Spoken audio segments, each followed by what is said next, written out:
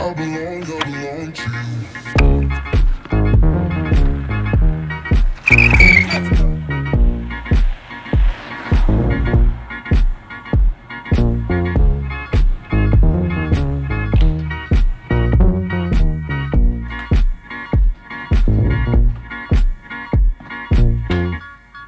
Somehow I don't think the Rev is supposed to be ridden inside. It's also very, very heavy to carry upstairs. Uh, that makes it not so practical for me and, and uh, this office since we do have a bunch of stairs.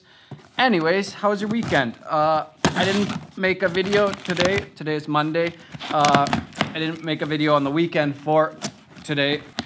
I just realized that summer's almost over and uh, I don't know, summer's not very long in Canada, so I just wanted to hang out with the family, relax, take it easy, you know, do normal stuff. Is a big box of stuff. Oh, I should probably be more careful with this.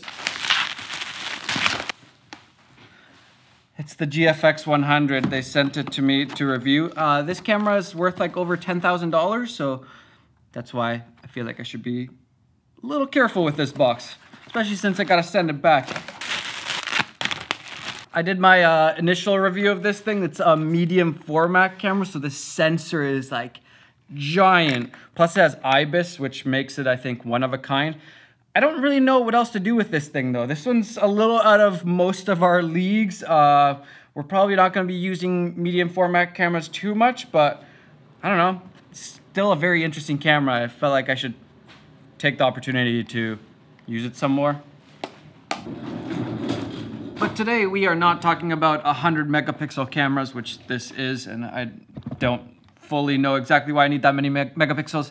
But we are going to talk about something else, and that's when you don't have uh, when you don't have one of these things, or your camera is too big for one of these things, or you just don't have money for one of these things, a gimbal. Um, what are some camera movements that you can do just handheld to kind of mimic a gimbal look without actually having to use a gimbal? I realized I do this all the time in my videos because I actually rarely use a gimbal. I just don't have time to set it up. I don't have space for it in my bag. I don't have back strength to carry around a gimbal all the time. It's just not very convenient at all when I'm making content every single day. So I've had to kind of improvise and figure out ways to make my camera movements look like gimbal movements when they're actually just handheld.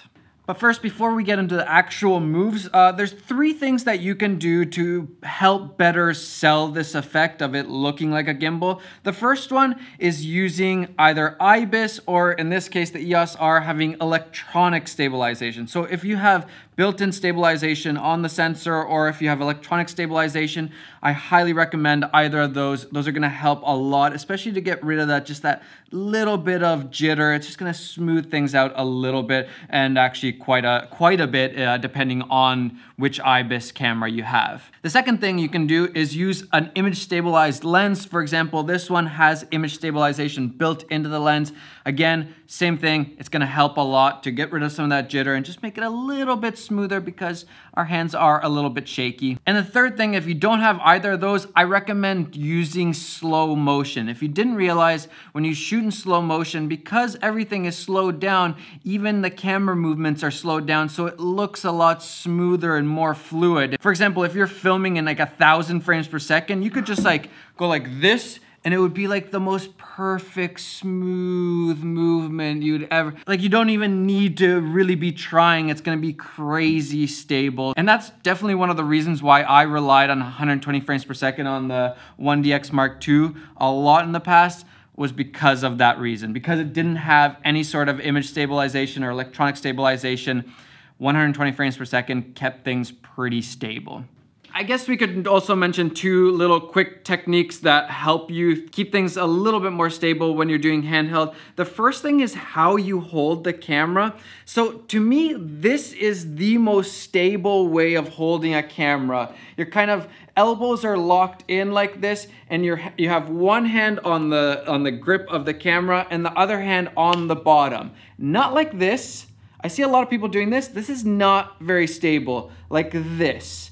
Have it resting down kind of onto your, your elbows in your, in your little side chest area here and then you're just gonna rest it there. This is gonna be the most stable way to hold a camera. Some people use like a neck strap and do that, that extra point of stabilization, but this is plenty good. Just keep it nice and tight. And the other thing is if you're trying to actually walk or move around, make sure you're doing the ninja step. Um,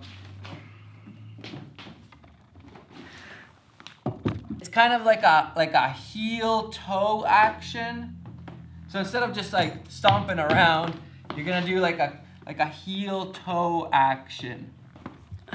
Does that does that make sense? Also, because Matt's out of the office, uh, this little guy is going to be my my little model. Thank you so much, Zach and Natalie, for giving me this uh, at the meetup. Which, by the way, the the meetup went great. It was really really fun. I got to do more of those. It's really nice meeting you guys. There's a lot of really, really cool, nice people uh, subscribing to this channel. So that makes me happy and it makes me happy to actually meet you guys in person. Also, I think they drove from like Jersey, which is like eight or nine hours away to give me this. So I much appreciate that.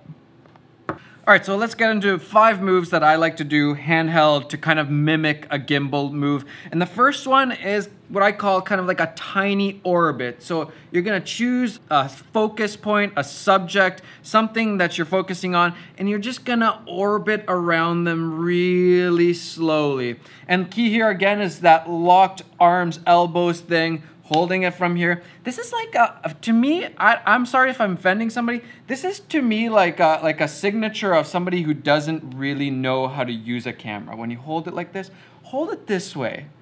I, I don't know if it's just me. Hold it this way. It's gonna be a lot more stable. And then you're just gonna choose your subject and you're gonna orbit around them. And sometimes I kind of just go back and forth, um, just especially to make sure I have both directions. But you also don't know if, if you're filming somebody, if they do like a head movement or something cool that you weren't anticipating, well, you still have that movement going when that cool thing happens. You got it. This one is probably my favorite one and I do it all the time. You're probably gonna see it in all of my videos now, now that I've told you my secrets. The second gimbal-like move that you can do really easily is kind of like a low to high, almost like a crane movement. So you can, you can do this a few different ways, but it's just slowly, smoothly coming from a low angle and then bringing it all the way up. Uh, it's a really, really cool look, and I don't think that many people utilize a movement like that. And it's actually a kind of a hard move to do on a gimbal sometimes too. Uh, sometimes it's just easier to use Use your arms. Use that, use that muscle of yours. The third thing that you can do to really sell that smooth gimbal effect is to have something in the foreground. So you have your subject a little bit further back and then you have something in the foreground that's close to your camera and then all you have to do is a tiny movement and it makes it look like the camera's really moving because of that foreground element there. If you take away the foreground element, it doesn't look like the camera's moving much at all if you move that slowly, but you put in that foreground element and then you got that really nice movement going on. Fourth move, might be my absolute favorite, and this is just like a dolly forwards or a dolly backwards. And all I'm doing here is again that locked arm position, and then I'm just gonna, I'm gonna plant my feet, I'm gonna move back, and then I'm just gonna slowly move forwards. And my feet aren't moving, my feet are staying planted. I'm just moving my body to start farther away and then end up closer.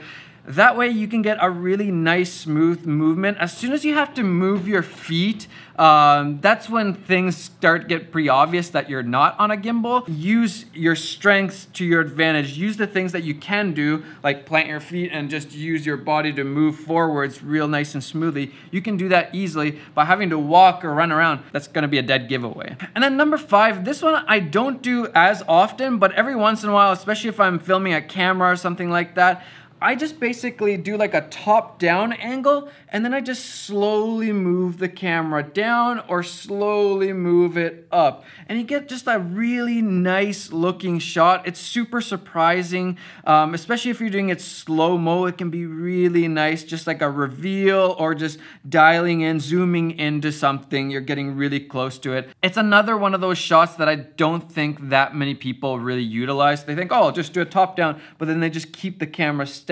um, when they could just add a little bit of movement and make it really interesting, make it a little different.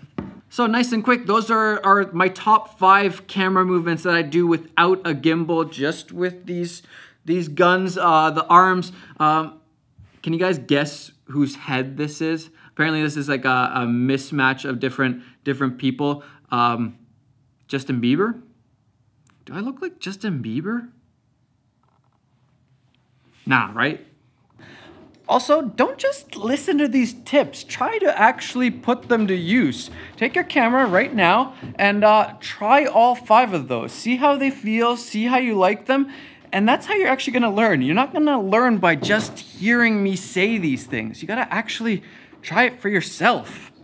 This weekend, I kind of just realized how many how many people want things or want to do things and then they just never do it. They say that it's a, it's a priority, I want to do this, it's my dream, and then they just never take steps forward. They never take steps towards that thing. So don't be that guy or girl. Take those five tips that I took there. If you want to be a filmmaker, those are things that would be really, really handy for you to know. I hope this motivational moment will motivate you so lonely at the office today. Nobody's here.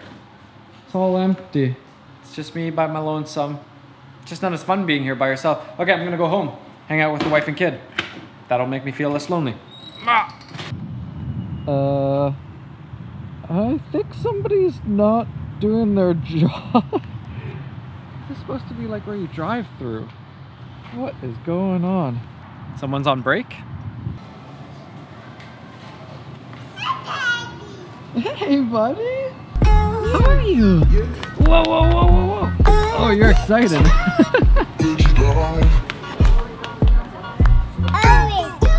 you want one of those? Not in there, buddy. See you later. Kai always comes to look at the fishies. He just doesn't know where they uh where they end up yet.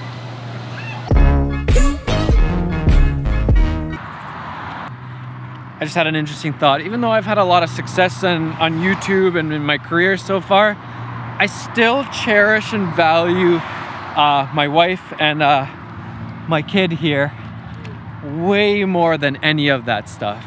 I think sometimes we think of wealth, uh, that you can be wealthy, but only in terms of money, when really there's a lot of different ways to be wealthy. Money's just one of them. And it's probably one of the least important ways to be wealthy. So try to become wealthy in some of the other ways. Like getting a family. It's good times. Show me snake. Oh, is that the snake from the zoo?